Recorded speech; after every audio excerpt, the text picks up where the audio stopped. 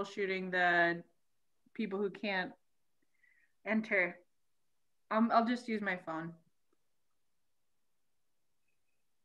Knows I'm realizing if I'm going to be troubleshooting the who can't. So we we are we are live.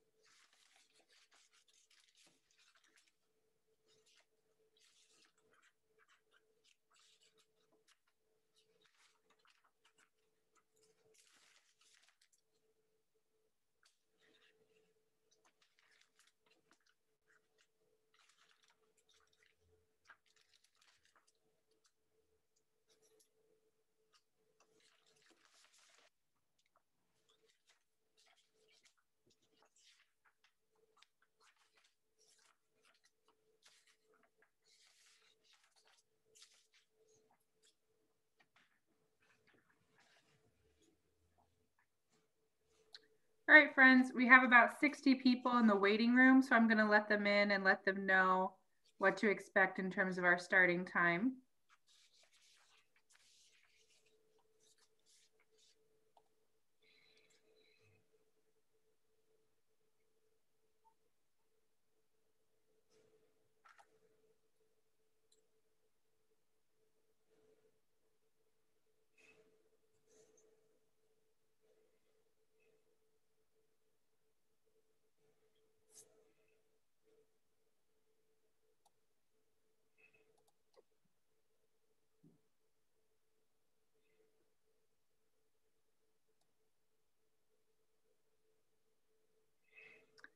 Welcome, friends. We're going to start a little bit after 7 tonight at 7.05. This is Lena speaking. I'm the education coordinator at Pendle Hill. So I just invite you to settle in if you want to get maybe a drink of water, maybe remove a distraction from your space so you can be really present. Um, just encourage you to start arriving. And we will start at about 7.05 so about eight more minutes of just gathering. We have a lot of folks joining us today on Zoom as well as on YouTube. Um, so we're gonna give ample time for folks to arrive. Um, but thank you for being here. Really happy to have you here. Everyone will be muted. Um, you can chat um, to me and Francisco here at Pendle Hill. We'll be doing tech support for the call, um, but we don't have the chat open for everyone, just in respect to um, allowing us to be really present to what George has to say tonight. Um, thank you for being here. Um, you are all muted as it is, and uh, you may notice you do not have the ability to unmute yourself at the time. Um, that's because we are expecting over 500 people on the call today, and that's going to be uh, quite a cacophony of voices if everyone's able to unmute themselves. So uh, thank you for uh, permitting us a little bit of that, that uh, decision making on our end. It's going to be helpful for everyone later, I think. And welcome to those who are still just arriving. Um, you're hearing the voice of Lena Blunt. I'm the education coordinator here at Pendle Hill. We'll get started here at 7.05. I welcome you to just settle in.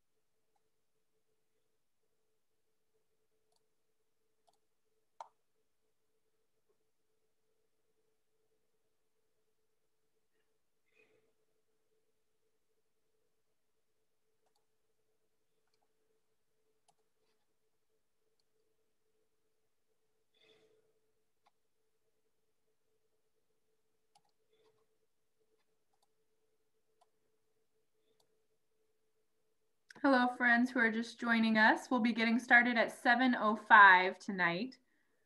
Thank you for your patience. We'll have a couple more folks join us here. I know we have a number of people joining us on Zoom as well as on YouTube. If you're just joining us, you may notice that you are muted and unable to unmute yourself. Um, that's because we anticipate several hundred people on this call tonight. So thank you for understanding. You can use the chat, but the chat will only go to me and Francisco here at Pendle Hill. Um, that is also intentional so that we can all be focused and listening to George um, as he shares later tonight. There'll be a number of opportunities for you all to speak with each other um, and also to submit questions at the end um, that we will um, open up some space to discuss. So there will be time for that coming. Um, welcome for folks who are just joining. We'll get started at 7.05.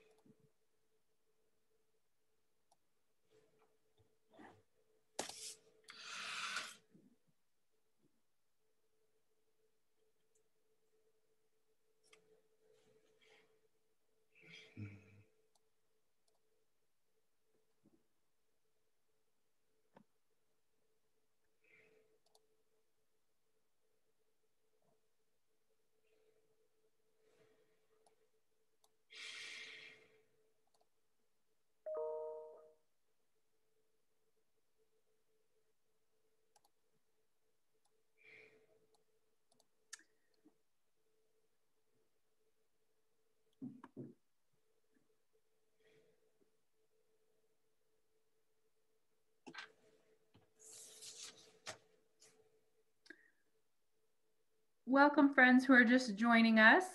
We'll be getting started at 7.05 here shortly. Thank you for being here. My name is Lena. I'm the education coordinator with Pendle Hill. Another disembodied voice on the internet. Welcome everyone for being here.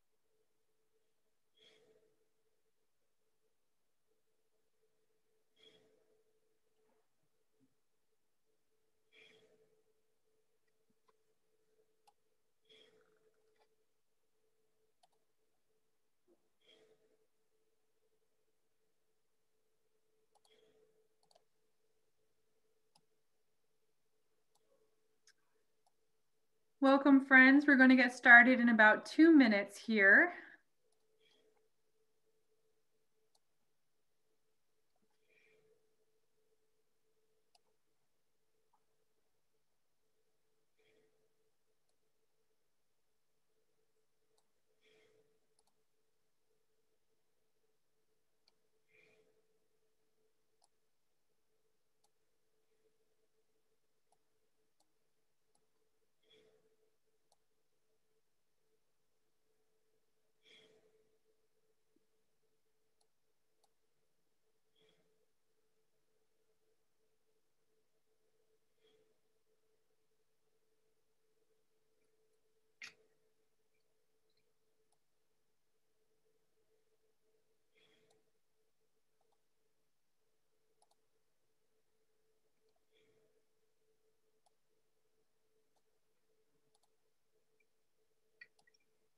Welcome.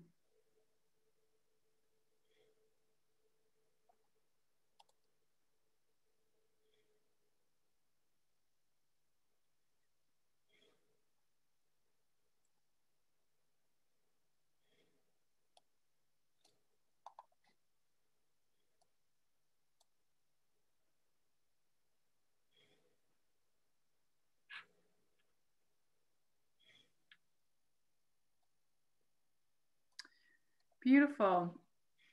Well, thank you all for being here.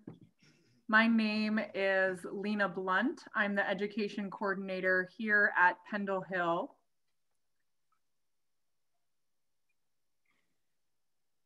And I'm so glad to welcome you all tonight to our first Monday lecture for October. Um, this is a lecture series that we do um, on the first Monday of every month. Um, and I'm so excited to have George Lakey joining us tonight to discuss can Quakers and others help prevent an American slide into dictatorship? Hint, nonviolence will be key. A little bit of housekeeping for tonight. Um, we are um, live streaming on YouTube as I speak. Um, so we've made the decision to keep participants all on mute. You may notice you cannot unmute yourself. Mm-hmm. Um, please forgive us for that discretion, but uh, it does make it easier for us all to hear each other. We have several hundred on the call here tonight, and it also makes this recording um, more accessible to folks who are watching on YouTube as well. And we've also disabled the chat for tonight.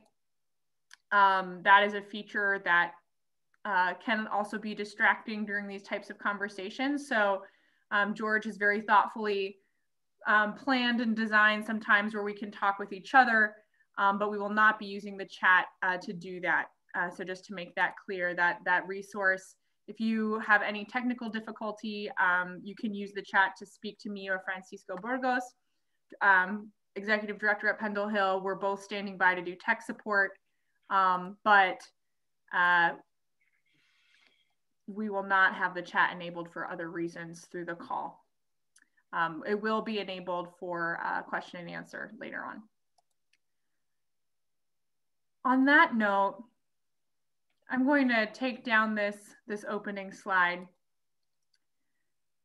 so that can better see your faces and can better welcome uh, George, who uh, will be speaking with us tonight. In addition to being a mentor and friend of mine, um, George has many, many decades of nonviolent direct action strategy and movement work. Um, George is a member of Central Philadelphia Monthly Meeting, um, is recently retired from Swarthmore College, has taught at Pendle Hill, Woodbrooke, Haverford, and Penn. Um, and his most recent paperbacks are Facilitating Group Learning and How We Win, a guide to nonviolent direct action campaigning. As is our tradition at Pendle Hill, I am going to invite us all to go into some silent worship uh, to open this evening. And then George will be speaking out of the silence. Um, as we dive in.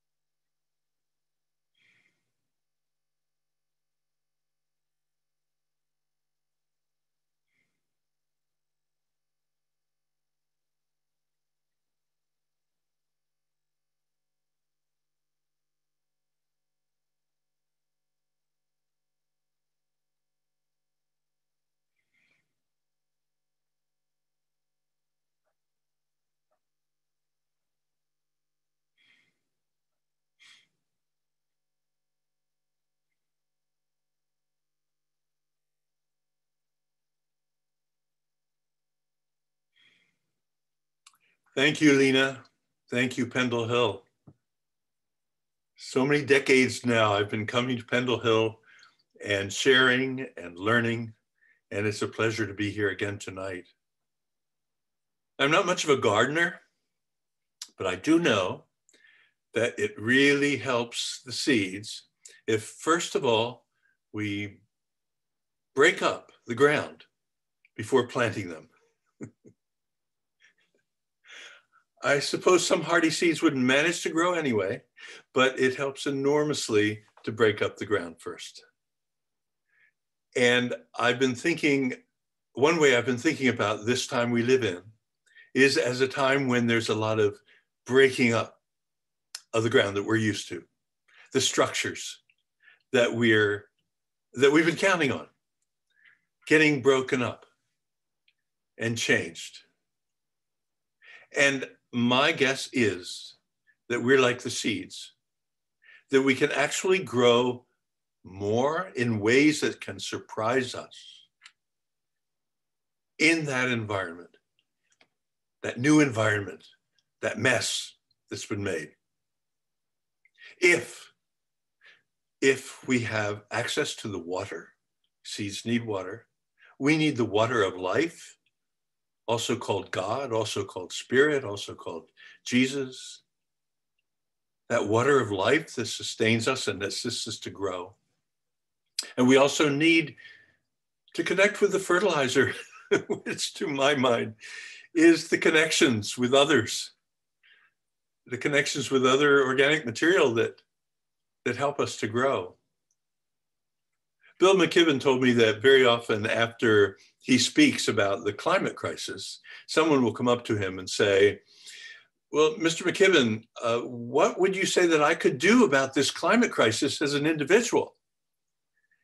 He likes to say, First of all, stop being an individual. and I can't agree with him more. We're only likely to grow well we're only likely to make a difference if we uh, if if we uh, if we do that if we make those connections. And that's one of the things that even though this is zoom land and that's hard to do we will promote those insofar as we can through this the uh, breakout rooms. And we'll hope that those who are watching on youtube will also find ways of being with others and absorbing this material that we'll share tonight. So, of course, the thing most on our minds right now is this, uh, for this lecture, is this threat to our electoral process, to the orderly transition from one president to the other. And we know that we, our current president keeps uh, refusing to pledge that he will respect the transition of power uh, because he withholds uh, the right to decide that the election was in some way marred in such a way that any other result except a result that favored him could not possibly be a legitimate uh, a legitimate result. And therefore since legitimacy is everything he will claim the legitimacy to continue on for another four years. So we are in a way lucky that he's been doing that because I've been dipping into the research that's been done on coups, on power grabs in other countries. And I've learned that one of the things that almost never happens is for the coup plotters to announce ahead of time their plan. Usually they're they're plotting in attics or basements or wherever they're plotting. And and and counting on the surprise to numb people and uh, and and, and uh, get them to freeze such that they can gra- grab the reins of power and be able to uh, make their their transition.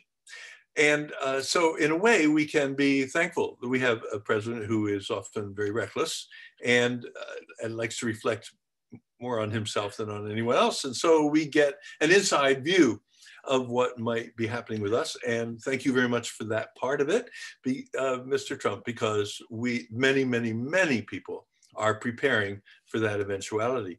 It's not that I myself am confident that he will try a power grab if uh, if he's not clearly uh, elected. I think it's possible that he won't, that wiser heads around him will talk him out of it. And yet, just as I have insurance policy for my house and fully expect it not to burn down, so also I like to have an insurance policy about something as vital to our life as a society as this political structure we've been used to. And for that reason, I think it's smart that you are here to consider ways of preparing for yourselves. And I've found it enormously illuminating to be engaged in this preparation process myself. What are we bringing to this challenging time? That's always a question I ask myself when another challenge happens, which can be just something on the street that's really strange and it looks like I ought to intervene, or whether it's something that looks like tomorrow is going to be very tough, I ask myself, what is it that I can bring? And I want you to have that opportunity as well. And so uh, I would like you to close your eyes wherever you are. And I would like you to um, go inside. Notice your breathing. Go inside and uh, maybe you'll want to shift your position a little bit, make yourself a little more comfortable, or put your feet more squarely on the floor. And support yourself to go inside and ask yourself that question What is it that I'm bringing to this moment? Please begin.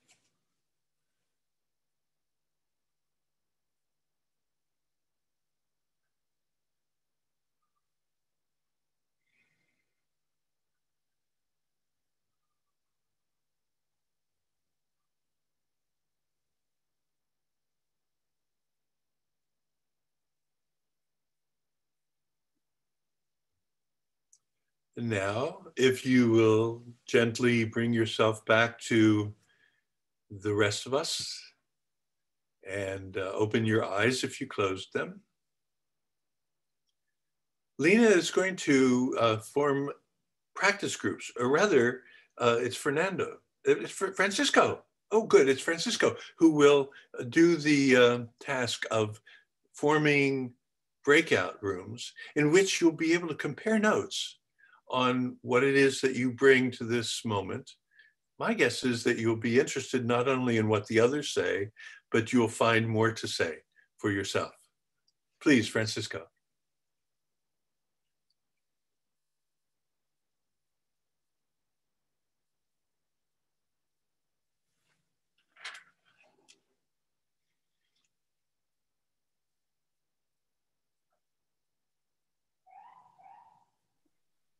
You will need to accept the invitation to the breakout room. So you may see a pop-up that says the host is inviting you to join a breakout room and you'll need to click join.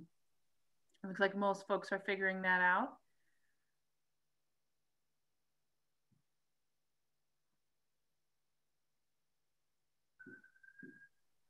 So there should be a pop-up that says the host is inviting you to join a breakout room and you should click join.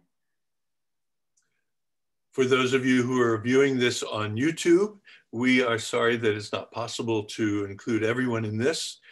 And my suggestion is that you this might be an excellent time to grab a pen and some paper and go more deeply into this question for yourself. If you happen to have other people around joining you in viewing this, grab them too. Mm -hmm.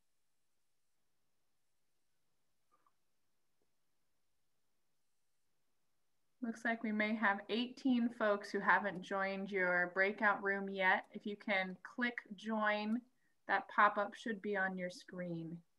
Then you can join that breakout room for discussion.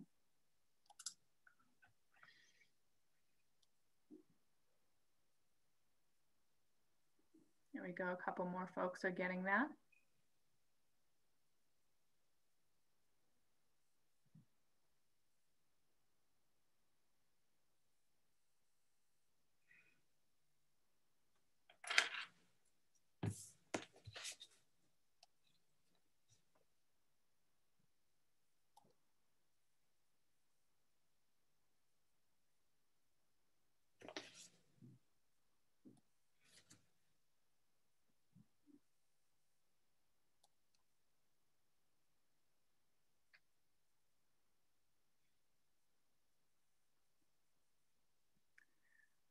Folks should have an invitation to a breakout room.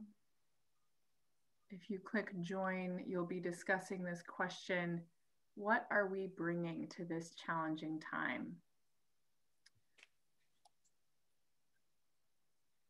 If you can join your breakout room, you'll be discussing that there.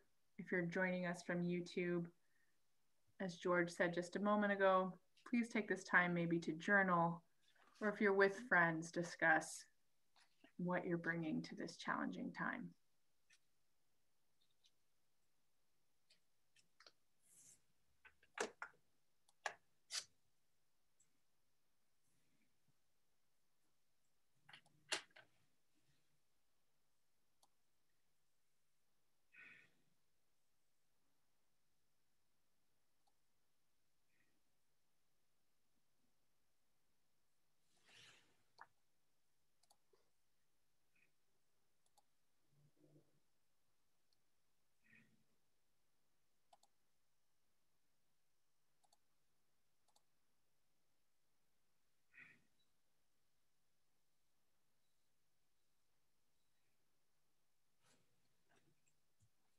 I think we have a couple of latecomers. So if you don't see the invitation to join a breakout room, we just invite you to perhaps journal or reflect on this question of what are you bringing to this challenging time? For those of you who've been in the call, you should have an invitation to join a breakout room. You will have to click join in order to join that breakout room.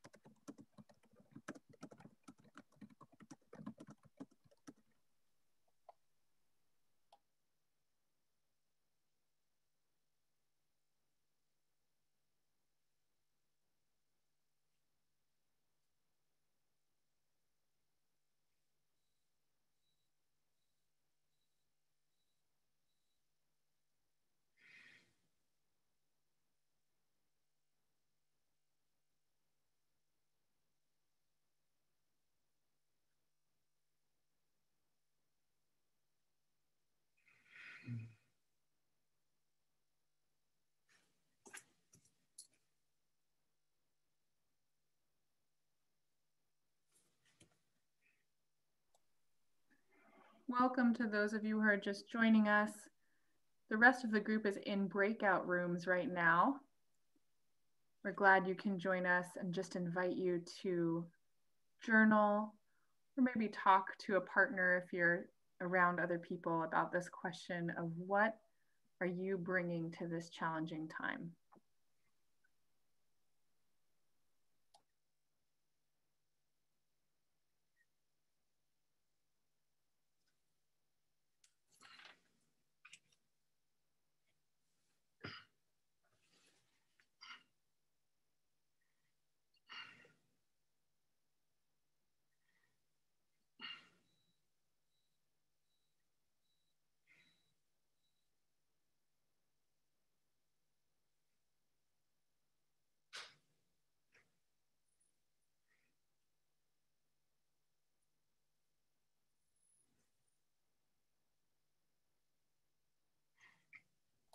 For those of you joining us via YouTube, you'll not be able to do the breakout sessions. Those are very unique to the Zoom platform. Um, but we just invite you to reflect on this question, perhaps journal, turn to someone near you if you're with people near you, and discuss what are you bringing to this challenging time.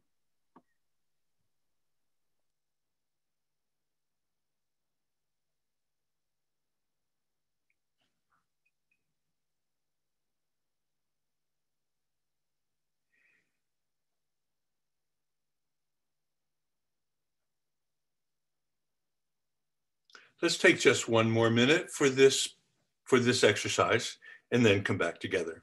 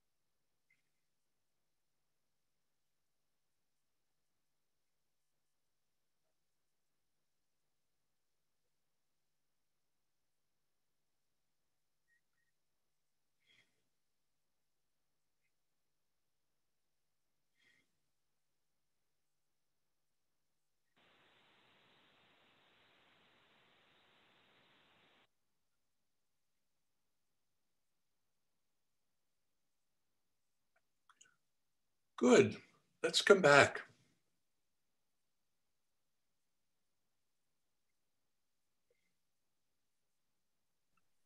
They will be joining you in the main room in 15 seconds. Great. Thank you.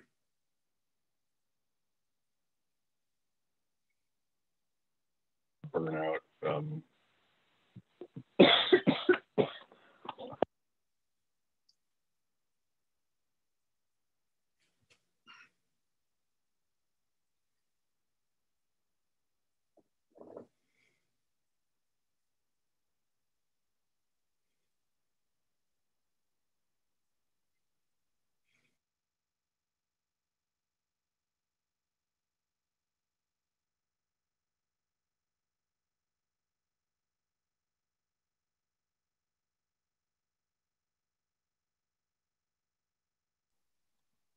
George, could you unmute yourself? I had to change the settings here briefly. Perfect.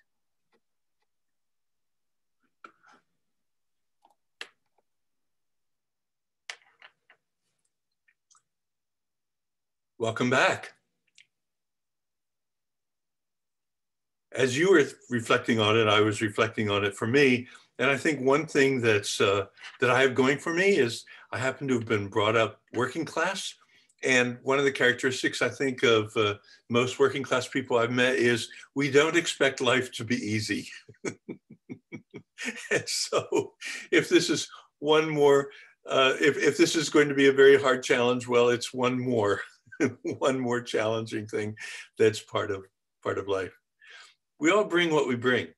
And the, the, it's the sum total of what we bring that's going to make a difference. And you, and actually, our country has some things going for us that uh, that some other countries haven't necessarily had going for them. Uh, there have been a number of countries in which the people have nonviolently prevented a coup or defeated a coup. Um, but they didn't always have uh, some of the things we have. I already mentioned one of the advantages we've got is advanced preparation is possible uh, my estimate is tens of thousands of people are right now preparing for a possible coup, even though it's extremely important that we be doing get out the vote and, and other, uh, you know, signing up for poll watching and all these other things to try to make the election itself as, uh, as strong as possible. Even so, large membership organizations are forming coalitions with each other, beginning to prepare for a possible power grab and so that preparation is underway. And then there's an additional uh, factor I'd like to remind you of, which is that this past year has been a year in which many people have been waking up and asserting themselves for good causes, for progressive causes. The Black Lives Matter movement has been an enormously uh, uh, widespread. It's, it's, it's shown up in towns where they haven't had a demonstration for a long time. And a, a journalist, I think it was a Philadelphia Inquirer journalist, called a small town in rural Pennsylvania uh, where he heard they just had a demonstration and he said when's the last time you folks have had a demonstration? And the uh, respondent said oh i don't think we've ever had a demonstration in this town. Well wait a minute. Uh, I, am wrong about the 20 years ago there was a ku klux klan rally. That was the last time so the, the fact that so uh, the Black Lives Matter movement, and and before that, the climate, uh, the climate crisis uh, movement, uh, all those young people involved for the first time in their lives in taking action, doing strikes on Fridays or that kind of thing. Uh, the gun control movement before that, also involving teenagers. There's been and people of all ages. So there have been multiple movements in the last couple of years in which people have stepped up and that's a very, very big plus for us as we step up for this, if we in fact need to step up for it. And then the third thing I'd like to point out that's special about this country, there are a few other countries like this, but this country has the advantage of a somewhat decentralized power structure. That is to say, all of our governmental eggs are not in one basket, not in the national government. There are states, for example, states that actually defy the uh, federal government on, on various issues. For example, immigration. There are sanctuary states. It's driving the current government crazy that there that could be the case. Uh, there are uh, states defying. Uh, California keeps defying national policy by setting its own emissions rules for guns uh, uh, for for for guns, for cars, and so on and on. There, I can give many examples of that, and not only on the state level, but even the cities have an aggregation of power that is to some degree surprising. There are sanctuary cities, after all. There are cities that go their own way. And in fact, because the national government has uh, so ha has taken a vacation uh, virtually from responsibility in meeting the COVID uh, crisis, then that has increased the uh, understanding on the part of other power centers. We're going to have to be able to aggregate power and uh, and implement policies on our own. And so that is also a big uh, plus for us. People will not, as they might in some countries, just roll over because the central government has been taken and that's that. No, it's more complicated here and we can use that complication to our advantage. Now, we are also in good shape in the sense that we have some actual evidence-based knowledge about how to defeat a coup. One source of that is a Quaker political scientist named Stephen Zunes, who did a careful empirical study of 12 coups that have happened in the, the last half century, and uh, what what transpired in those 12 was that there were mass nonviolent responses to the coup. And what he found was that in eight out of those 12, mass nonviolent response to the coup attempt was successful in defeating the coup, eight out of the 12. So naturally, he asked himself, well, what was the secret of their success? What is it that they did right so that they could defeat even military coups. Most of those were, in fact, military coups. And going up against a nation's military is a very, very tall order indeed. But in eight of these cases, they did so. So, what was that? Four keys I can describe that Stephen uh, concluded were really crucial to the success of those of those eight countries. And I'd like to describe those four keys. Uh, now, if Lena, you would uh, go ahead and put a slide in front of us, that'll help us to uh, follow along. Widespread mobilization was very, very important. Now, widespread doesn't have to mean uh, in a wide, the, the it doesn't need to mean 80%. It doesn't need to mean 60%. It just needs to mean widespread as compared with everyday life. And so uh, in that in that context, we can see that operating in a number of the cases. I'll give the example of Thailand from Stephen's casebook. In Thailand in 1992, uh, there was a coup attempt by the military, and the uh, people mobilized against it in fairly substantial numbers. I actually was training at the request of the Buddhists uh, over there. Uh, I was doing some training soon after this uh, this enormous crisis that the Thais underwent, and I heard a lot of first-person stories from people who participated in defeating that coup. And what they told me was that, and this is backed up in Stephen's account, uh, that first there was uh, there, there were hundreds of thousands of people who turned out in various cities, especially in Bangkok, in order to to defeat the coup, but that didn't turn out to be enough. They persisted. They went on for weeks and weeks and weeks and weeks. And they persisted to the point where the military thought, well, the only way to stop this is going to be to shoot them. The military had, up until then, been arresting, of course, and roughing people up and the kind of thing you'd expect. But what they decided was they were going to actually line up the soldiers and shoot into these crowds of unarmed people. And they did so with many, many casualties and, and substantial death. The result of that was that way more Thais who had been holding back watching this contest between the military and the people joined the struggle out of a sense of righteous indignation that soldiers would kill and injure uh, unarmed people. And it was that additional increment of Thai participation in the movement uh, and using many more levers instead of just demonstrations, which actually um, are, are, only one tactic of the many that are available. It, it extended itself. People were very creative. Taxi uh, taxi drivers refused to take uh, military people in the taxi, just all kinds of ways that you could imagine non-cooperating. That became the, the name of the game in Thailand. And they succeeded in defeating their coup, therefore. So that's a good example of that one. And let's keep that in mind. Let's go on to slide two, because there we'll find one that illustrates Stephen's second big key. The second big key for, uh, for defeating uh, an attempted coup, and that is to build alliances outside the usual suspects, to reach beyond the choir, as we say. Uh, in, in our context, it would mean going beyond, uh, beyond the progressive uh, movement, the activists that you know will uh, count, uh, can count on to turn out for this or that.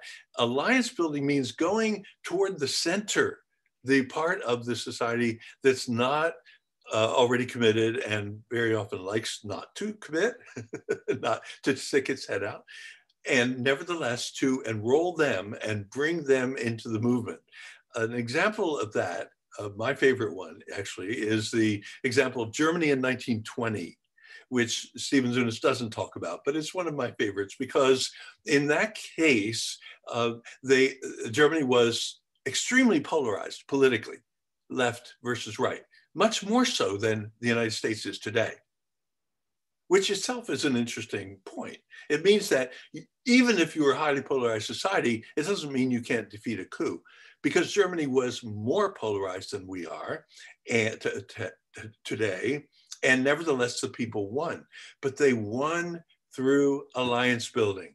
What happened was that the labor movement was, was largely socialist and communist, which itself was a tenuous alliance. They very often were not allied. They managed to ally with each other, but also they allied with the center, which, and it was the center party that had been running the government and was thrown out by this coup uh, that was led by a guy named Wolfgang Kapp and a, a, a prominent right winger who had lined up a good part of the military to join him. And so it was he and a, and a general that were doing this coup. And suddenly, over the weekend, an alliance was built among these large forces, the leadership of these large forces, such that when Wolfgang Kapp went to the Capitol building to assert, okay, I'm in charge now, he walks into the building and he finds it's empty. There's nobody there. because the government workers were responding, like workers all over Germany, to the uh, refusal to work uh, for the coup and work in, in the condition where a, the coup would be running things. And so the government workers weren't there. So poor Wolfgang Kapp, I'm, don't, I'm not really pitying him, uh, found that he had nobody to type the manifesto, which asserted that he was the, uh, the, the uh, commander of the country, that he was the dictator. And so the next day, since the man had not learned how to type, oh yes, men don't learn how to type always. Uh, he came the next day uh, back with his daughter who did know how to type so that she could type the manifesto that said he was running the country. Of course, the place was empty the second day as well, and the third day. And by the fourth day, that coup attempt was done. It was finished because there had been such an effective alliance building. Big lesson for us reach outside the people that you usually connect with. Go find the people who are closer to the center and win them over. Let's have our third key. I love telling the stories that go with these keys. This is one that Stephen Zunes uh, this, uh, does, uh, does tell. The, the Russia in 1991 uh, example. Um, I happened to be in Russia as this one was unfolding. Uh, I was training in Russia at the time. It's not that I, it's not that when I show up in a country, they go into crisis. But anyway, uh, it did happen to be the case that when I was there, they went into that crisis and the, um, the, the our Russian uh, co-trainers who had brought us in to do some training, uh, based practically locked us into an apartment saying, we don't want you anywhere near, uh, near the action, stay here and we will go take the action. And they did. In fact, it became uh, for considering then the Soviet Union, right? Considering they were not used to demonstrating, they, it was definitely not part of the political culture anymore. Um, it was it was a remarkably large thing, and they did do their alliance building. Uh, it, in fact, uh, one of the chief um, opponents to the coup was Boris Yeltsin, who was the president of the Russian Republic. The mayor of St. Petersburg also spoke out uh, against the coup, and so on. But what this case also really illustrates is the nonviolent discipline paying off, because the big uh, the big uh, worry on the part of the people was the behavior of the soldiers, and especially when the soldiers took up a position in front of the uh, the Parliament building, it was called the White House, uh, but it was a parliament building and the soldiers uh, set up there were ordered to set up there put their tanks there and so on.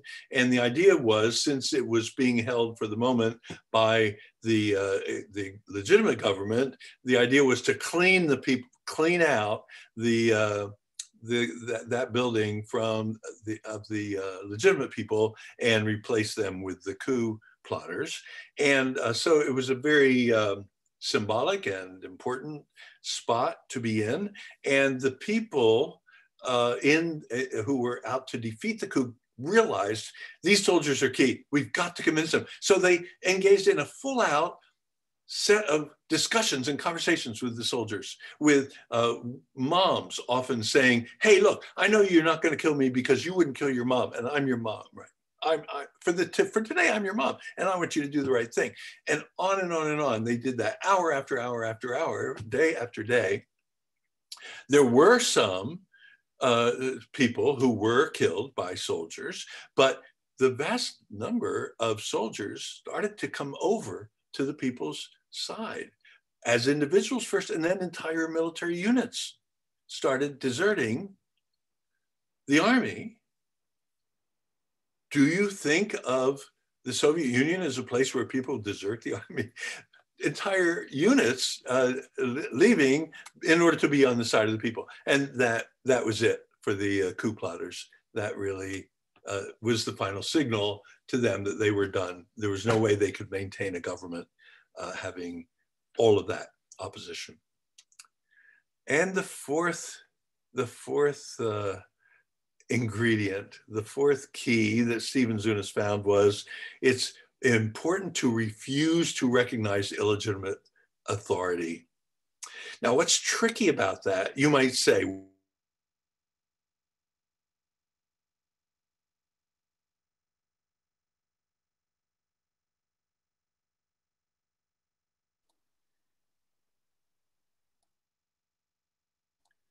Did George freeze for you, Francisco? Yes. Uh-oh. A little glitch maybe on George's side. One moment.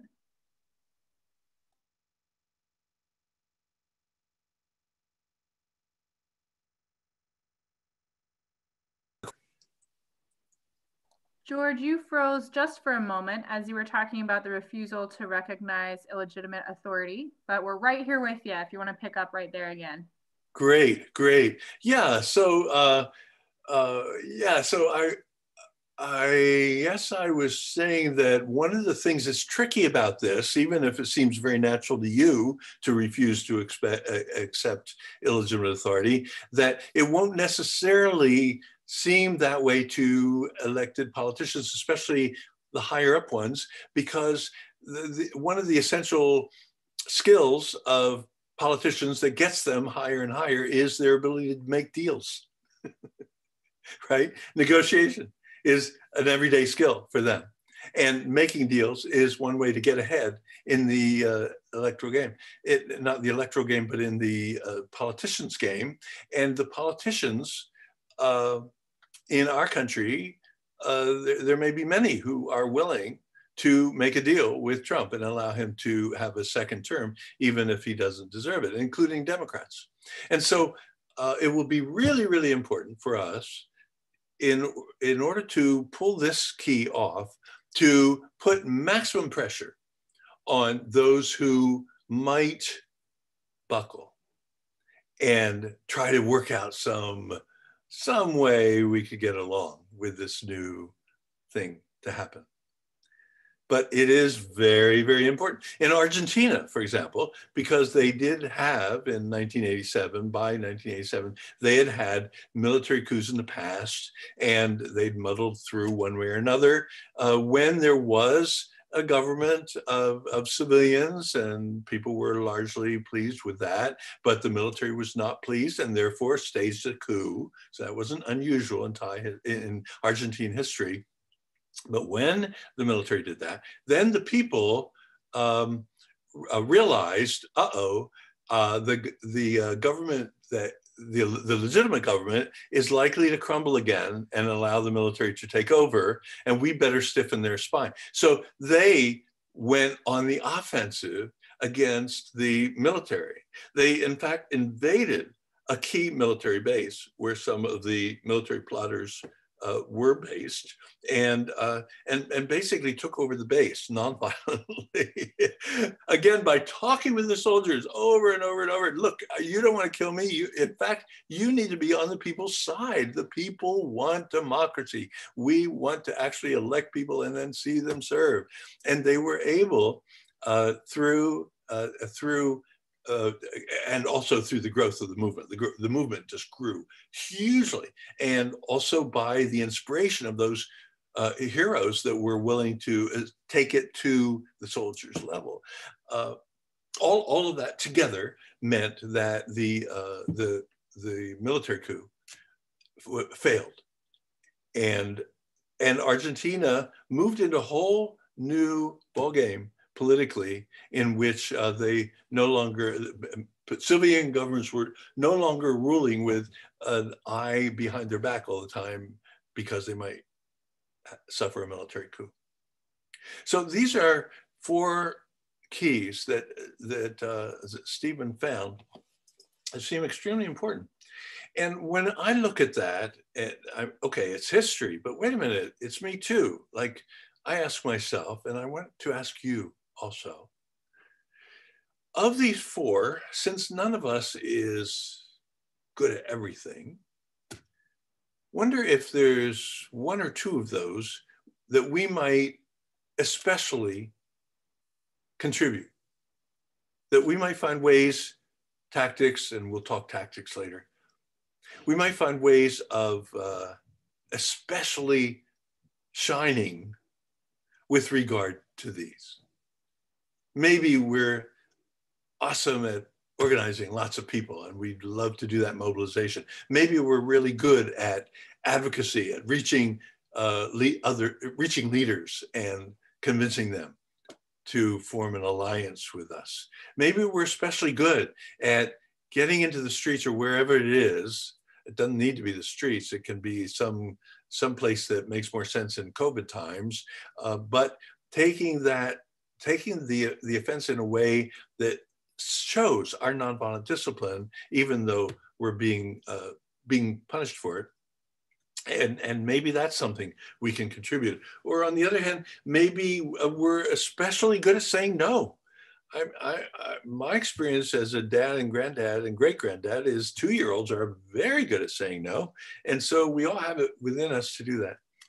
So what we're going to do is breakout room lena's going to help us no francisco is going to help us into uh, breakout rooms and again i would like to encourage those who are are uh, watching via uh, uh, YouTube to to grab that grab that piece of paper and do some of that introspection yourself uh, or conversation with whoever you can rope uh, from around wherever you are. So let's do that.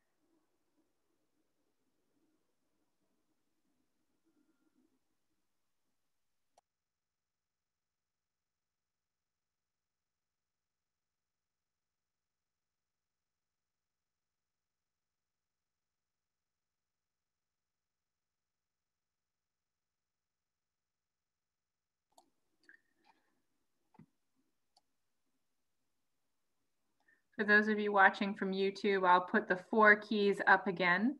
The uh, prompt is which of these four keys do you feel most called to that you think you will most bring to this moment?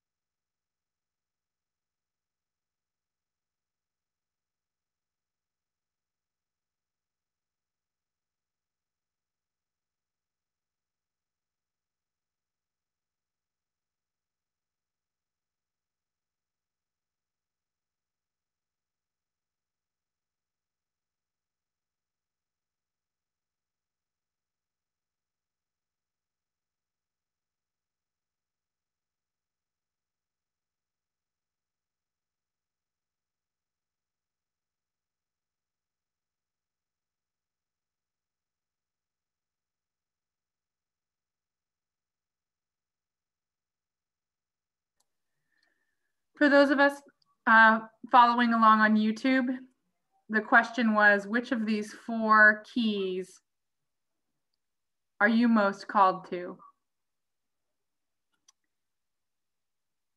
Which of these four keys are you most called to? A number of the folks in our Zoom room are in breakout groups. Those will be ending shortly. For those of you following along via YouTube, maybe start wrapping up your thoughts, wrapping up your notes. And we'll come back together in just about 30 seconds or so.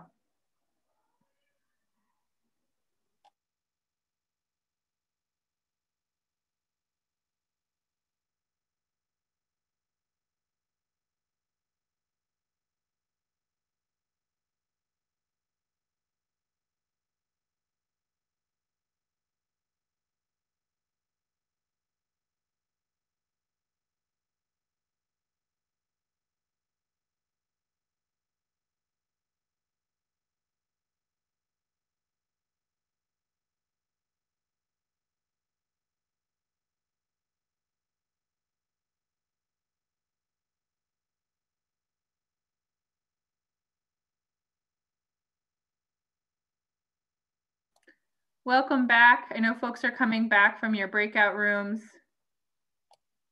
More folks will be joining us back from their breakouts in a moment.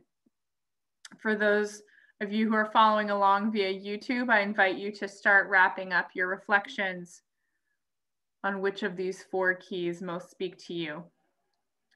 In a number of seconds, everyone will be automatically pulled back from their breakout rooms. And so we'll have folks joining us again in just a moment. I believe here they are coming.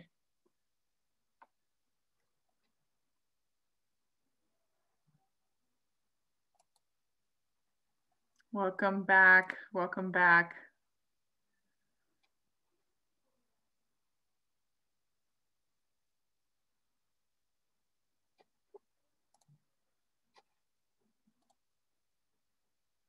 Welcome back, everyone.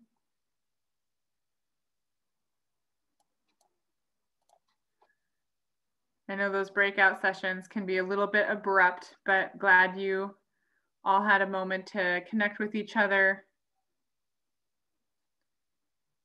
Folks are all getting pulled back sort of automatically right now.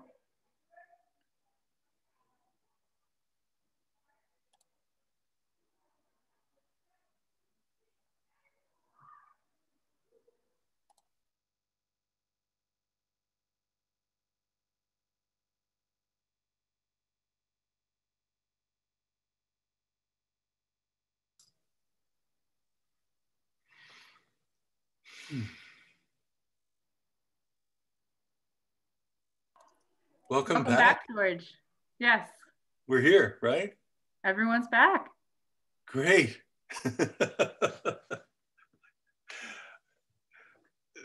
well, I've been in um, some amazing places to be able to do uh, training of people in social change and how to make progress in their countries, but no place more unusual than the Burmese jungle, where I was called, uh, again by Buddhists in that part of the world, to, to go to um, what, what was called a jungle university, which was a, a, a guerrilla encampment in the jungle of Burma. It was, uh, or Myanmar, as we now call it. And this was um, a matter of smuggling me across, and my uh, partner, my facilitation partner, smuggling across the uh, border in order to get into this uh, guerrilla encampment where it was mostly soldiers.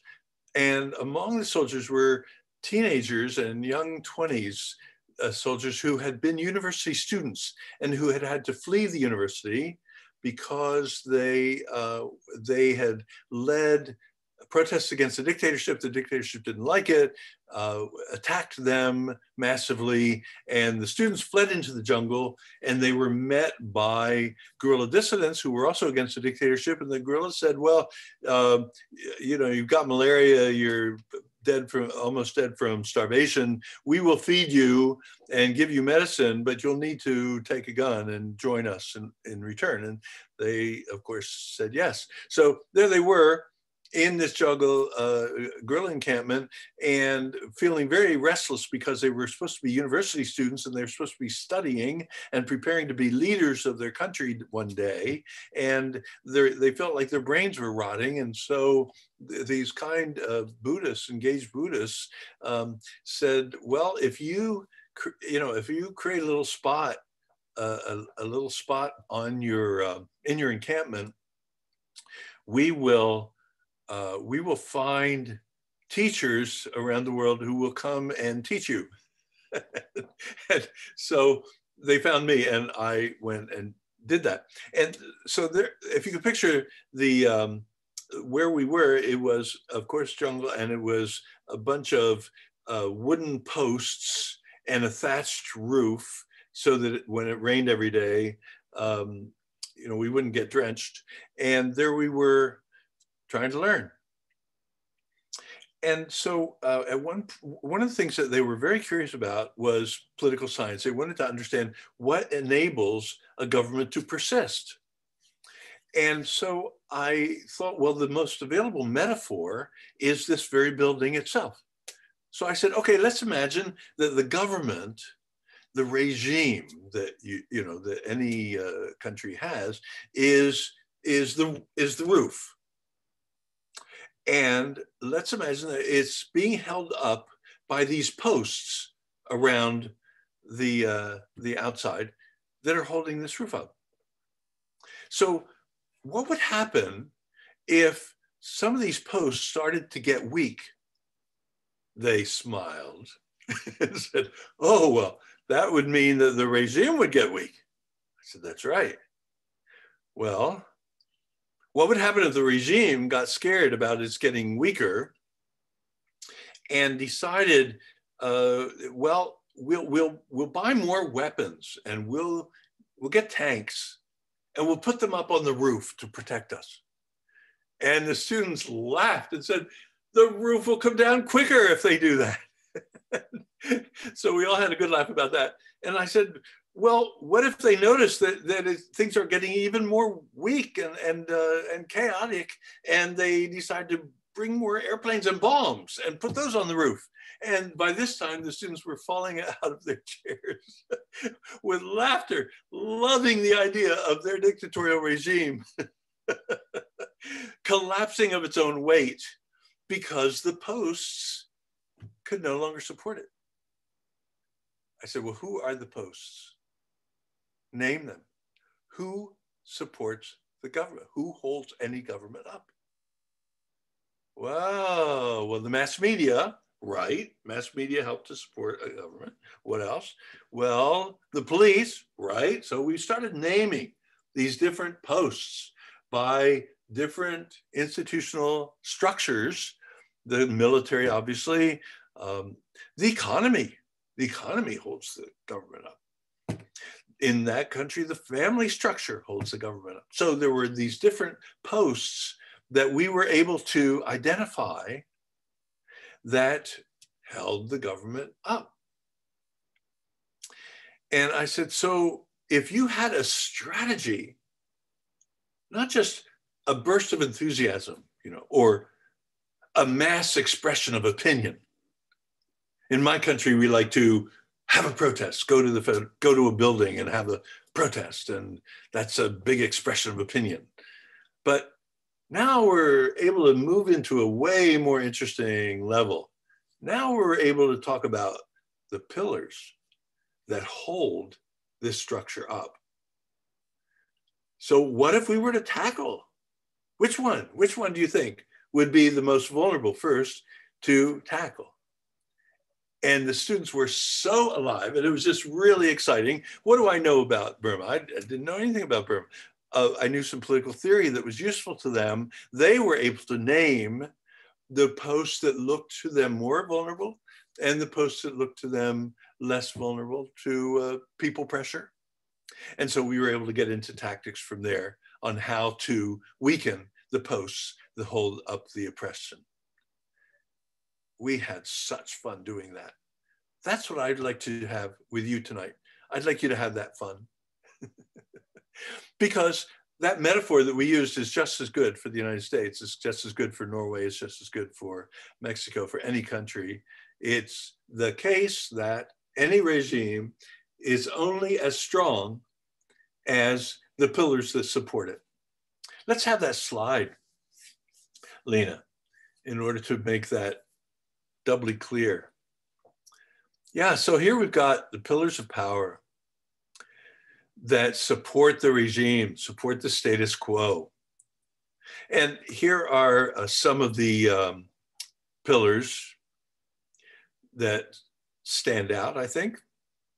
Obviously, the government workers, as poor Wolfgang Kapp discovered. the police are important. The judiciary are important. Judiciary very important in this in this country because uh, Mr. Trump has again and again and again tried to do things which the judiciary wouldn't go along with, uh, and uh, and and he failed.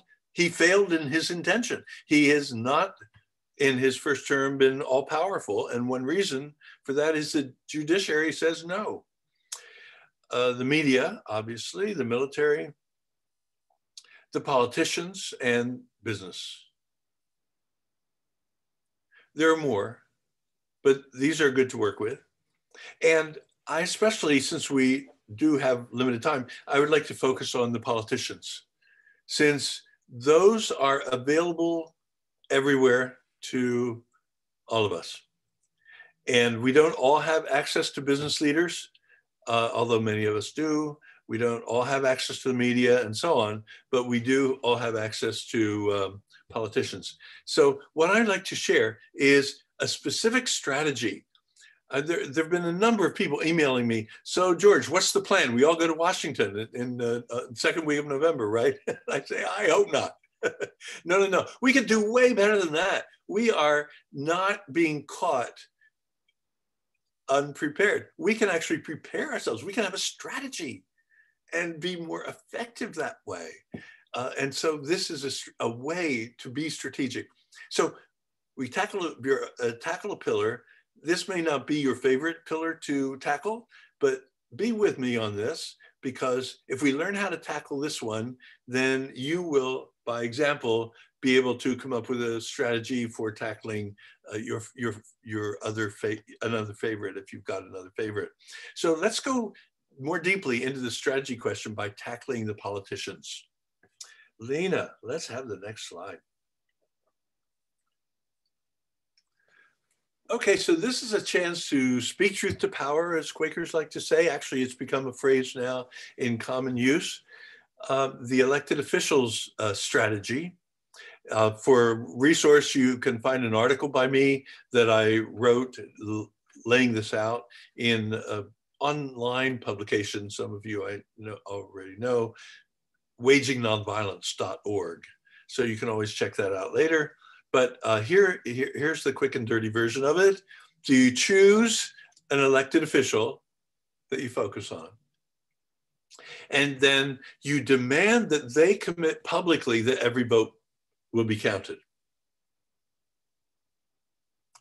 That's an important demand because as far as the uh, political science and sociology folks that I've talked with can figure out, even though beginning with November 4th, things are going to be very complicated. And there are particular dates when particular things happen, when legislators, uh, le state legislatures appoint uh, the electoral college and when the electoral college meets and so on and so on. And it can get bewildering and too complicated simply to make a demand about. But this turns out to be a very, very powerful demand. Because if we say that we're not going to accept as legitimate any government that, uh, that, that ignores votes and leaves them uncounted, we're putting ourselves in a very strong position. So we can demand every politician whether Republican, Democrat, whatever, uh, independent, uh, can uh, will commit, not just tell us, oh, I hear your point of view. Yes, of course, you're right. It, this is the United States of America. We should count all the votes.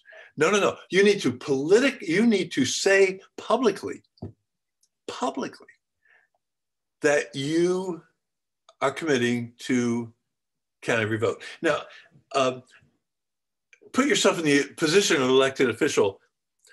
Are you going to want to refuse that demand? Are you want it, going to want it to be known that it doesn't matter to you whether votes are counted or not? if you're an elected official, you're pretty guaranteed to, ha- uh, it, it will be very hard for you to refuse this. On the other hand, some will delay. They will come up with all kinds of arguments for not doing it. And so that gives you the opportunity to use nonviolent action, which is key in winning uh, this struggle, uh, to use nonviolent action to pressure them to commit. And uh, of course, you can make drama. One of the great things about nonviolent action is uh, it can be uh, bring your creativity into it, and you can use uh, use it for drama. And you can also invite more and more allies to join you. Remember, alliance building is key. So instead of going to your elected officials with the people you know best, deliberately don't do that. Uh, line up the uh, clergy people in your uh, in your town or city or area that uh, you don't know, and and bring them. Uh, the, the rabbis, the imams, the, the people who uh, are religious leaders, bring them. Or bring business leaders that you don't know already. Or bring another category of people. You don't know that college president down the road? Well, it's time you do. Bring the opinion leaders uh, that you don't know, but who represent, or in some way, um, and in some cases like union leaders, actually can bring masses of people into action. Um, go visit, go visit these uh, politicians with them. It, they will not think you're kooky to want to visit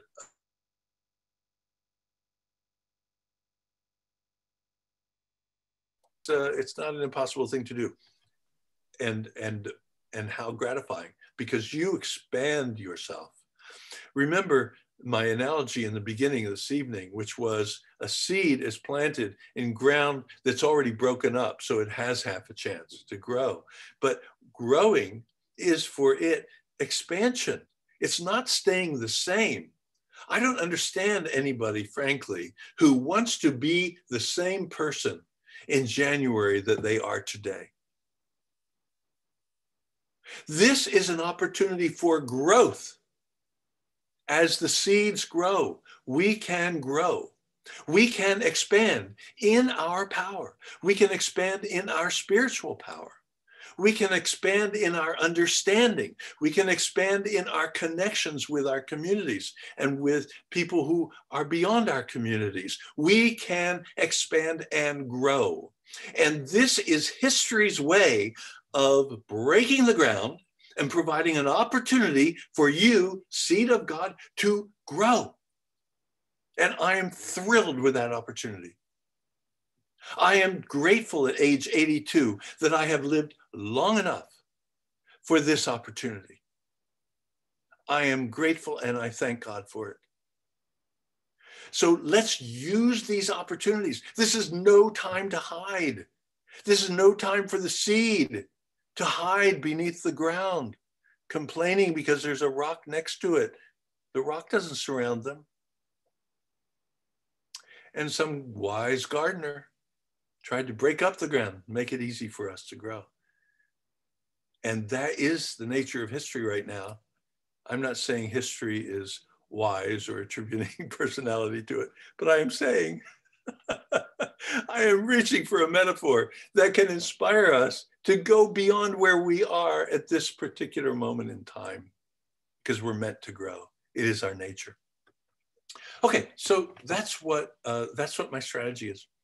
And uh, the Choose Democracy website, I'm part of a team called Choose Democracy, and we're online, uh, choosedemocracy.org, has this pledge and is advocating that everybody use this pledge.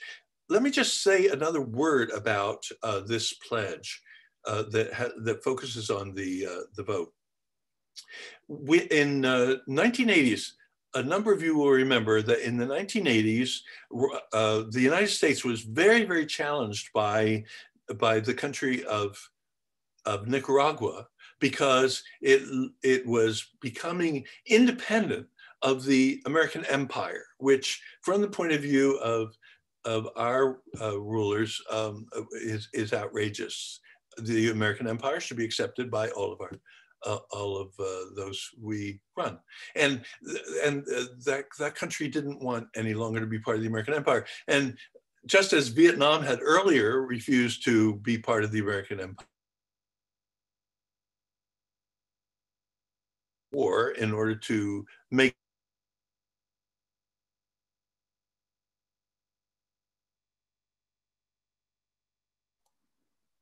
I think George maybe froze again. He's been coming back to us, but it is a little choppy. Thanks for holding with us, folks. And I think this might be a bandwidth thing on his side, unfortunately.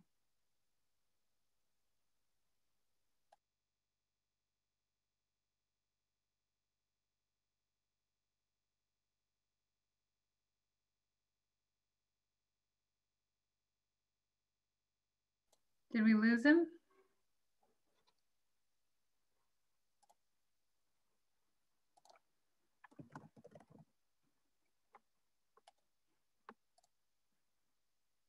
Hmm. Hi, can you hear me? We can hear you now. Welcome back. Hey, thank you, thank you. Where did uh, where did I uh, lose you? Where did you lose me? Um, you were just starting to talk about um, Honduras and the US empire not being too happy with losing ground. yes, right. So it was Ronald Reagan's job as head of the empire to uh, send troops to Honduras uh, as a staging area to be I'm able sorry, to. And Honduras. Sorry. Sorry? I just realized I, I misprompted you. You were talking about Nicaragua. Oh, was I? Mm-hmm. Uh, so I didn't talk about Ronald Reagan? Mm-hmm. Yeah, we missed most of that. I'm sorry. Oh, okay, okay. Yeah, it was very alarming to the uh, the power lead in our country that uh, Nicaragua might want to go its own way, and so uh, it was Ronald Reagan's job as president to make sure that that didn't happen. And so, uh, you know, following the Vietnam pattern, you put a lot of troops in and you insist that people do what we want rather than what they want. Uh, the idea was to put troops in Honduras, invade Nicaragua, and insist that they shape up and be good, uh, you know, good members of the empire. And the um, uh, and, and and he was prevented from doing that. And one of the major uh, means we used to prevent him from doing that was huge numbers of Americans signed a pledge of resistance saying, if the United States invades uh, Nicaragua, then we will go all out to commit civil disobedience every every place we can that has to do with the federal government and uh, and make that sacrifice in order to make our point and to stop this outrage from going on. And so many people signed that, and it was so clear that we were determined to do that that uh, that that became one uh, one part of the calculation about whether the U.S. could get away with doing that, and decided not to. So this is a similar kind of thing. It's a pledge of resistance brought up to date that has to do with the possibility uh, that uh, our reckless president will want to do that. And uh, and and uh, so choosedemocracy.org, no, choosedemocracy.us, excuse me, choosedemocracy.us uh, is the place where you can take that pledge and find other resources that will be useful with regard to this question, including upcoming trainings that you can refer your friends to. So uh, uh, this is, uh, you're seeing right now what the pledge is. We will vote and we will refuse to accept election results until all the votes are counted. And we will nonviolently take to the streets, that's uh, in quotes, because actually there are a number of tactics that we can use that, uh, that are not taking to the streets. For example, yes, for example, uh, let's say you were going to go after the uh, the elected officials, use that particular strategy. Maybe that's a pillar that attracts you, or that's the strategy that's handiest for you, depending on where you live. And so, uh, one of the things you could do is a motorcade going by the house of that elected official uh, with signs and so on, and tooting horns and so on, in order to make the point. Uh, another uh, that's a, a, a, way of being safe with regard to COVID and also making the point very strongly. Uh, you could send people in socially distanced, depending on where their office is located, uh, or outside the office on on the uh, on the sidewalk outside the office. So uh, there are a number of suggestions actually that are coming that we're we're beginning to make now that would enable people to to take this. Um, take this strategy further and make it practical uh, so that people could take the degree of risk that they want to take. Some people could uh, could decide to do a, one after another kind of thing. So you go out, you go in at 10 a.m. and and sit there and refuse to uh, re refuse to stop talking about the importance of this election until they arrest you, and then I will come after you and do the same, and then Joan will come after you, and then Philippe will come after me, and so on and so on. And so, so on it goes. You can, with creativity, think of tactics that are safe for you to do and that will escalate your being on the offensive in order to make it clear to the elected official, they, in order to get us off their backs, non-violently, uh, they will need to make this public demand if that pillar weakens substantially, it's going to make a difference to the uh, possibility of the of the coup being successful if it happens. Yeah, Lena, let's go on to the last section because I know we're also eager to get some time in for questions. And these are some tips on the possibility of violence because who knows what will happen. And there may be in your area some people who will want to do violence to you because they are uh, they disagree with you politically or uh, there might be some people even if you're socially distanced or if you've decided to take the risk as many people did in black lives matters and be closer to other people in demonstrations um, you may find that some of the people in the uh, vicinity that you are with are uh, engaging in um, in in behavior that could escalate things. Uh, then there are things we can do about that and this training itself, or this isn't really a training, it's a first Monday lecture. So this isn't really a training where we'll get into peacekeeping. But the good news is that choosedemocracy.us will have peacekeeping already has uh, started to list peacekeeping trainings that you will be able to take. So if you are concerned about the question of the risk of violence, be sure to take peacekeeper trainings. But I wanted to share a little bit right now. One is uh, to de-escalate, slow things down. It's a great, pretty much every demonstration I go to now, I keep that one in mind. George, slow things down. Because I can get amped up by the excitement of a crowd.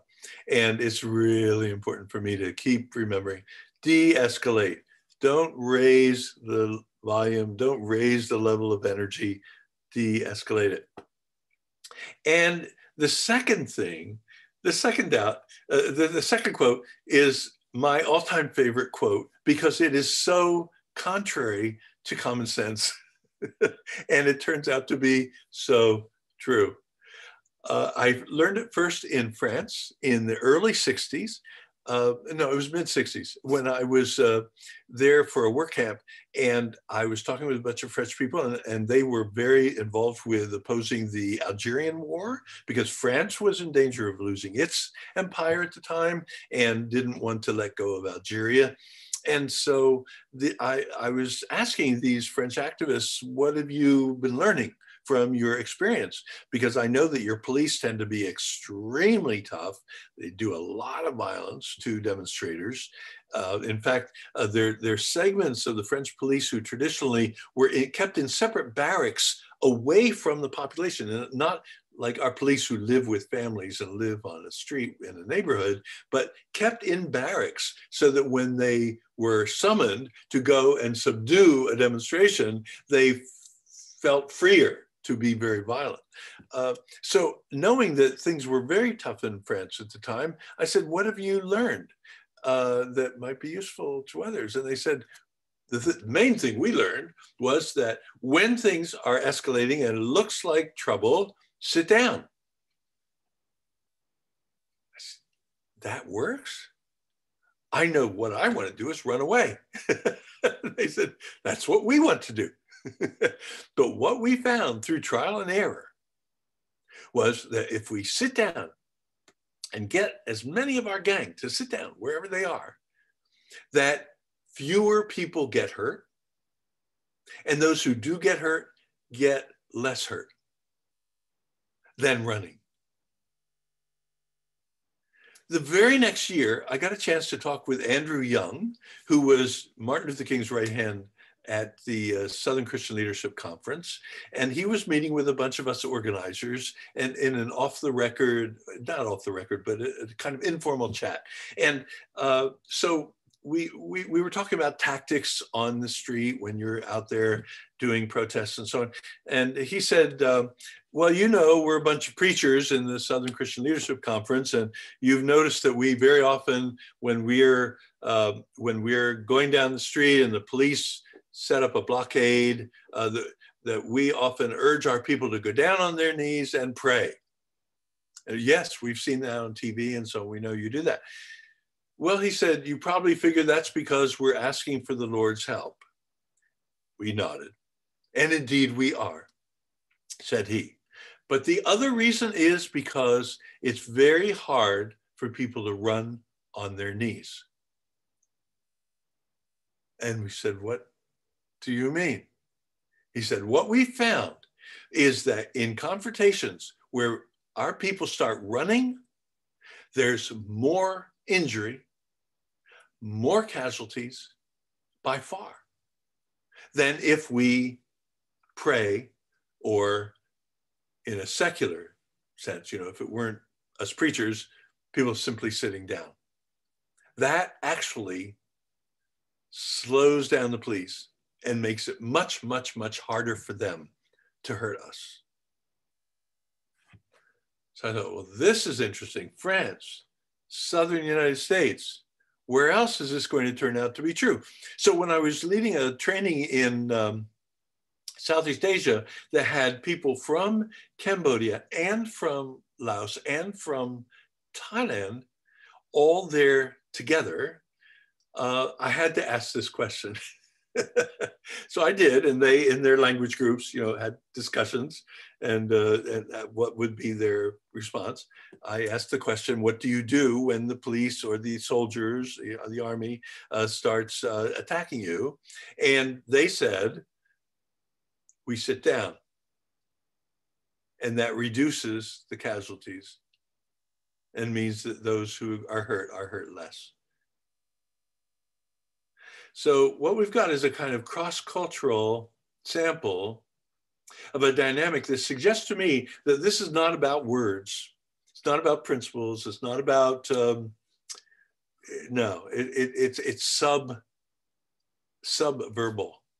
We're talking about body behavior. We're talking about reading of bodies. That's a very, very, uh, uh, uh that, that's not on a conscious theory, theory level. That's that's a very um, different level.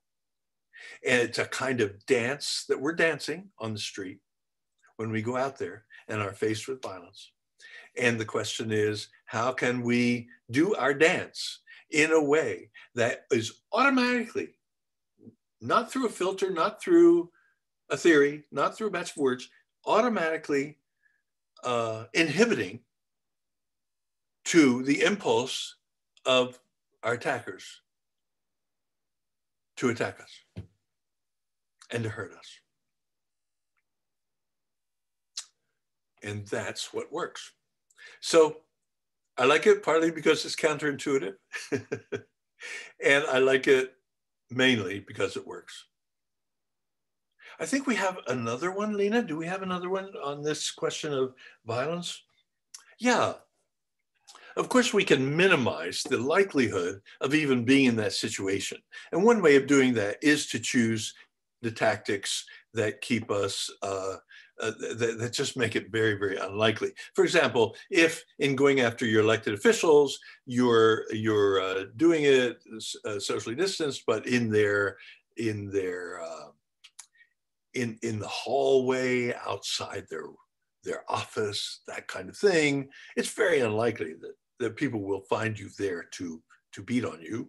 Uh, so so thinking about tactics, again, I mentioned that motorcade where you're in cars, you're slowly going down the street uh, beside the house, uh, or you're, you're going into the, uh, the church where the, uh, the elected official worships, or you're outside the church, but very close to the prox in proximity to the church, or to the synagogue, or to the uh, the mosque or wherever it is that that elected official uh, may, may worship. Uh, you can choose your time and place, in other words, in such a way uh, as to reduce the likelihood of violence. Daytime is much safer than nighttime, for example.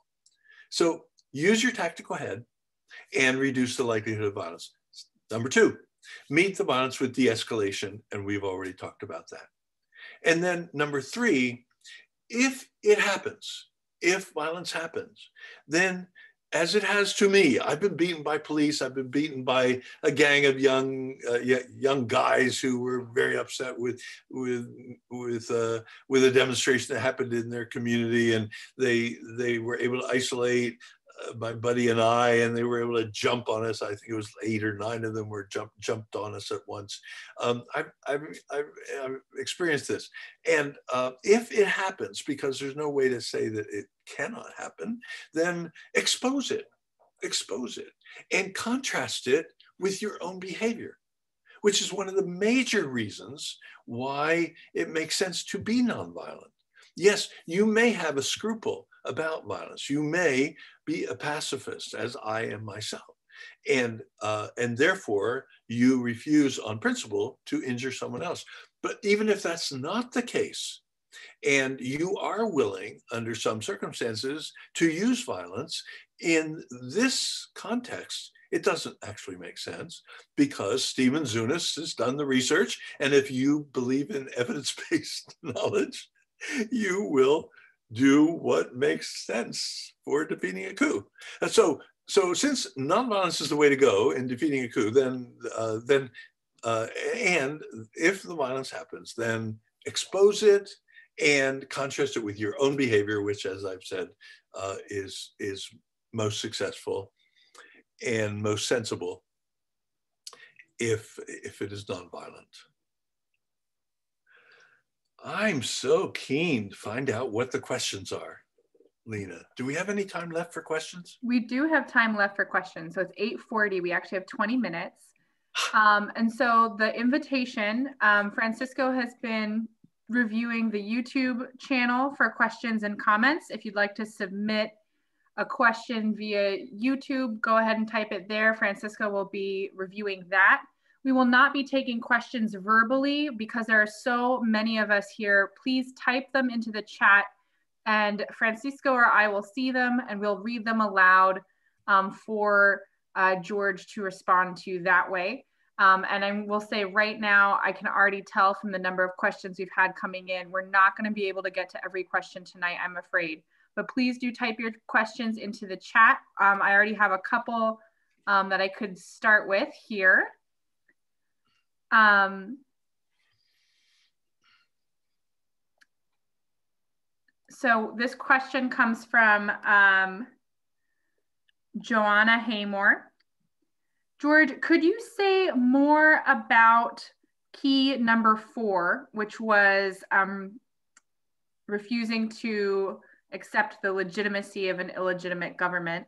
If we need, we'll shut down the country to, uh, yeah, if, if we need, we will shut down the country to of the democratic process. Can you um, say more about that point? Well, it means not temporizing, not saying, uh, well, we'll wait and find out what the Supreme Court says. Mm-hmm. I mean, that, that will be an obvious dodge, right? This is the lawyers are, I assume, already uh, delighted with the situation.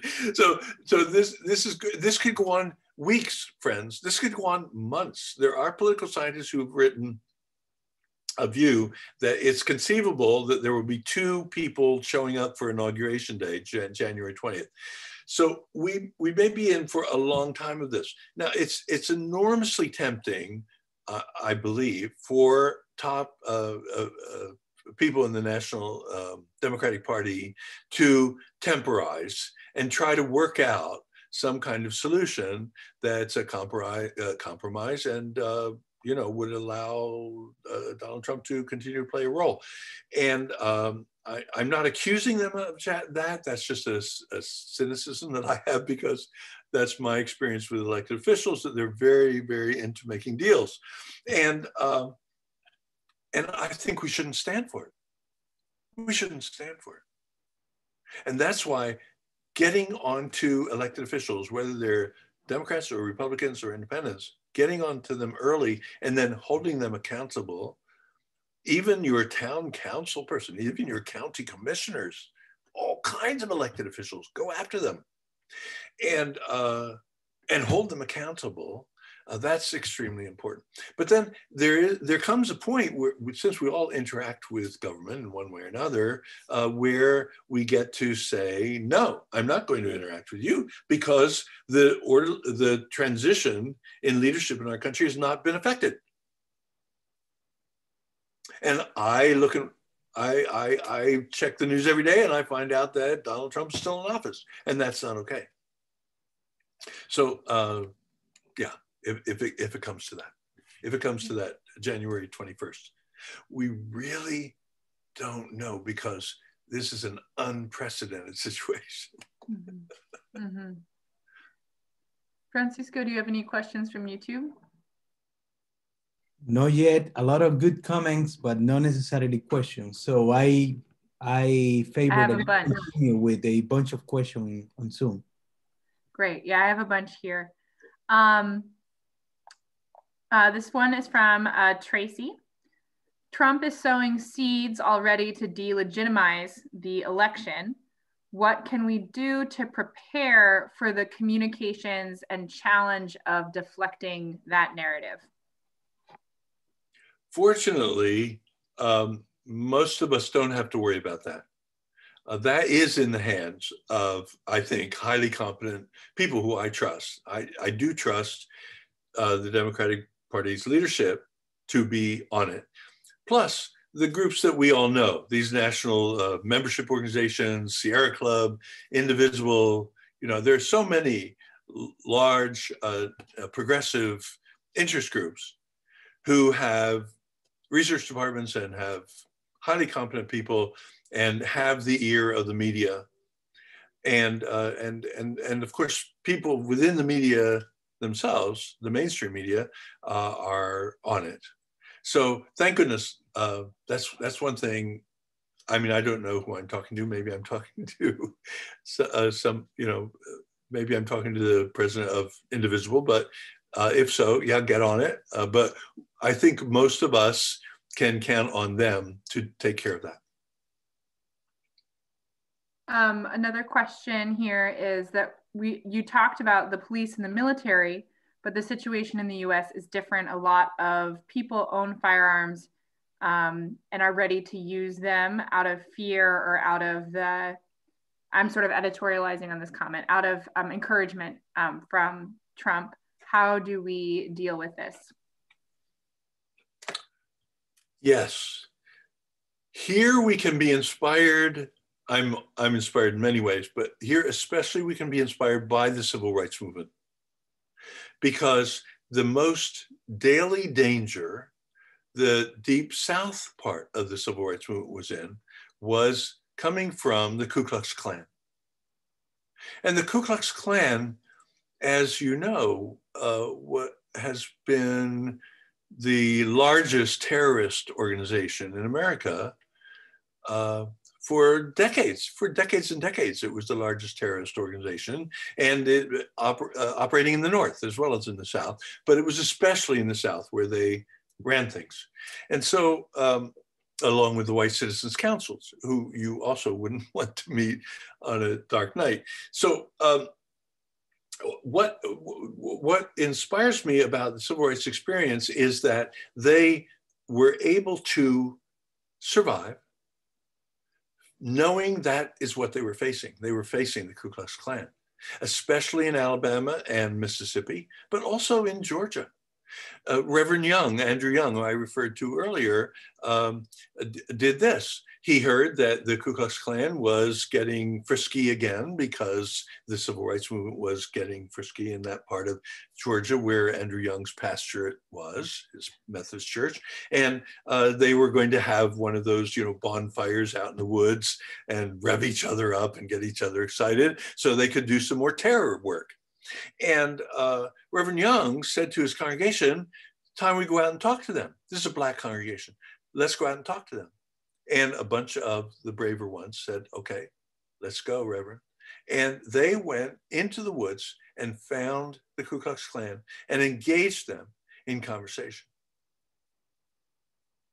and defused the plan that the KKK had to terrorize them by doing so. Big lesson there when we allow our fear to prevent us from reaching out toward our adversaries, we're giving ground away to them and shrinking ourselves. So, what we need to do is say, no, this is our country as much as anybody's, and we are entitled to uh, to, to protest without fear that somebody's going to whack us in the head or knife us or shoot us. And if we hear that there are people who are thinking about that, where are they? Like that. I'll tell one more story to that effect. I urge you, by the way, by all means, if you're concerned about this question of what to do about these informal people uh, who are, yes, there's already been a loss of life um, by a protester in uh, Portland, Oregon. Uh, Texas is also a dangerous place. Um, uh, so, so another story that might inspire you, but I started to say the movie Freedom Song. I so recommend the movie Freedom Song. You've seen it, Lena, and it shows the uh, it shows SNCC, the Student Nonviolent Coordinating Committee. These were young people young people who decided we will go into Mississippi, young black people going into Mississippi, knowing the Ku Klux Klan was everywhere. And, uh, and, and then they, they, they managed to survive for a couple of years, 63, uh, 62, 63. And in 64, they invited uh, a thousand Northerners to come and join them in the Mississippi Project. And I was um, I was honored to be invited to be part of the training for the uh, for the thousand uh, who were invited. It was turned out to be 900 something uh, who who were invited to uh, to go down to Mississippi, and so we did this training job. And it, I, I, therefore got to talk with the director of that project, uh, Bob Moses. I said, Bob, um, how is it that you are um, that you are able to survive. Like uh, you, you, you can't get protection from the local law enforcement people. They are putting on sheets at night. they're in the Ku Klux Klan. You, you aren't going to get protection from the state. The state wants you dead. You can't get protection from Washington because the Kennedy brothers, John Kennedy's brother Robert, who's head of the Justice Department, want to keep a thousand miles away from you. They don't want to touch you uh, what, how do you survive? And he said, it's because we don't have guns in our freedom houses and everyone knows it. So there's enormous power in our courage that sets aside this conventional means of being courageous by getting a gun. There's enormous power in that.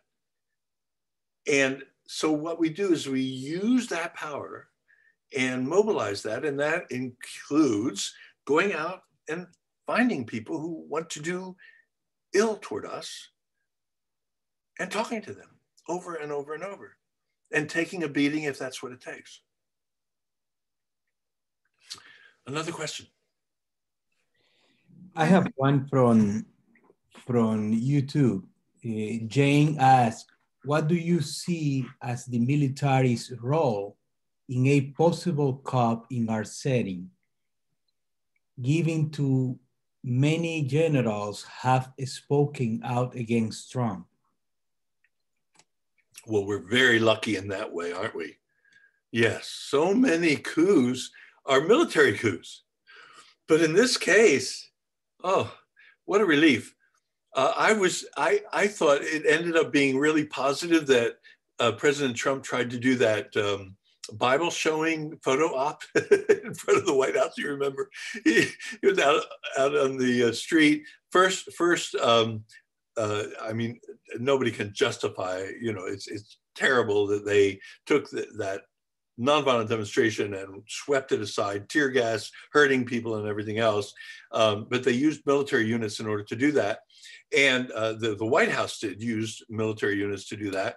And, uh, and therefore, the positive outcome of that, and very often violence rebounds, it backfires, right? And this is a perfect example of violence backfiring because their violence against nonviolent demonstrators then led military generals, as, as said, and recently retired military generals who are obviously speaking for the active service people to tell Trump, that's it, buddy.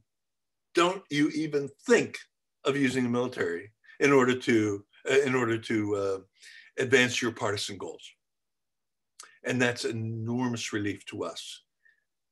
I don't think it's going to be hard to win this, this, this struggle. And that's one reason we don't have to face the military. We don't even have to train for that. Another question. Um, this one comes from Sarah. What about the photos of police taking a knee, etc., and allegations that the pictures are staged? I I I think uh, every the Russians were right. The Russians were right. They looked at those soldiers they looked at the tanks and they said, Those are human beings, go after them. and they started pulling the soldiers away, right? And even entire military units. Now, that those weren't American soldiers, uh, th- those were Soviet soldiers. You would think they'd be highly disciplined, uh, very hard to convince to do something different, but they were convinced. That is the attitude we need to accept we go after people, we go after police. We don't assume that police are all one kind. It's just not even true. My brother is a police, was a police officer. It's not true that uh, we're allowing our fear to run away with us if we ascribe inhumanity to people because they put on a uniform. I'm not. I of course I have been beaten by police. It's not that I'm a great fan certainly of armed police or, or of the way uh, uh the, the, the, the, the way that police system, systematically enforce white supremacy in this country and so on. Uh, of course, I need no lessons about that. The important thing is to not become so in love with that particular truth that we overlook the other truth, which is that things are always more complicated than they seem. And we need to be willing to deal with the complexity of a range of human beings. Yes, there's a range of human beings in the police. Some, of course, will take the knee. Of course, some police will help us. They will either, uh, in, in those cases of photographed, um, uh, and, and on the news, people actually risking the uh, you know, risking retaliation within the ranks by publicly associating themselves with us. That kind of thing will go on. Expect that to go on. Again, I keep emphasizing this is our opportunity to grow. So, whatever it is at this point in time, I'm 82, you're the age you are. Whatever age you are, your view of the world still has opportunity to grow and become more complex. You have still truth out there that you can grab onto because truth is so big, it's so enormous, it's so complex. We'll never get all of it, right? And so, what God gives us the opportunity to do, thank God we've got brains. The opportunity we've got is to put ourselves in situations where we will be stretched. We will see things that we wouldn't have thought we could see. We will see police acting in ways that we didn't think they could because we had them stereotyped. We will see wonders. Do you want to see miracles? Then act in such a way as to open miracles to happen before you. If you close your mind to miracles, you're not likely to see them. And this is one of the magical things about nonviolent action to me. Yes, it can be regarded as a non magical thing, it can be regarded as a political science subject, and so on and so on. I'm all for it. Uh, the scholars of nonviolence have been coming to my trainings. and I'm delighted that they're there. But for, speaking as a Quaker and speaking as a person with a deep sense of of, I'm so tempted to say the magical side of, of the world, the miraculous side of the world. Um, we need to be open to these surprises and we can be open. We can support each other to be open. And when we hear each other stereotype reality we can say wait a minute it may be more complicated than that. And nonviolence puts us out of our comfort zones into the direction of the miraculous and again, I'm not saying this, uh, the, the, empirical world of study is not important. Lena knows we've worked on research together. I'm all for the, uh, you know, the, the, the more skeptical uh, intellectual operations that are involved in scholarship. And at the same time, as a human being, I'm more than that. And we all are.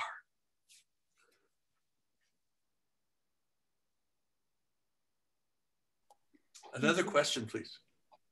Well, I'm also looking at our time and appreciating that that could be a high note to end on, but there are more questions. I'm sure we could ask questions infinitely. Um, but I do also want to respect, um, we said you were going to close at nine. Um, you just landed so powerfully, George. I don't know if um, you have a closing thought or something you just want to wrap up with or I can't do better than that. That came from spirit with uh, very little, uh, with practically no self restraint. Maybe I should say, Lena, in fairness, that uh, the the wagingnonviolence.org, uh, uh, you know, uh, publication online is uh, it has a number of articles by me on this subject, and on uh, and also a number of articles by me on facing attack and you know how, how to deal with attack and so on. So it is a resource. Uh, it's also got a marvelous article that's gone viral by daniel hunter called 10 stops 10, 10 steps toward defeating a coup. So it's a real resource and i hope folks will go on wagingnonviolence.org and uh, and and have a good time with that too. Great. but thank you so much lena and francisco for inviting me to to yes to to be with all these good people. Thank you. Yeah, thank you for being with us, George. And um, just one thing to emphasize for those of you who want to pick up this work and keep running with it, choosingdemocracy.us does have um, trainings which are different than what we did tonight. Tonight, uh, this was a little bit more of um, painting the broad picture, bringing it back to spirit. Um, if you want to learn more about some of these trainings, you can go to choosingdemocracy.us and um, there are a number of dates you can sign up for there. Thank you all for joining us. We'll be um, continuing our first Monday lecture series um, and the first Monday in November, um, which for those of you paying attention at home is the Monday before election night. And we'll be joined by Eileen Flanagan, um, who will be uh, speaking about what happens Wednesday. Um, and I think continuing some of these themes of, of spirit led uh, action and uh, care for our democracy.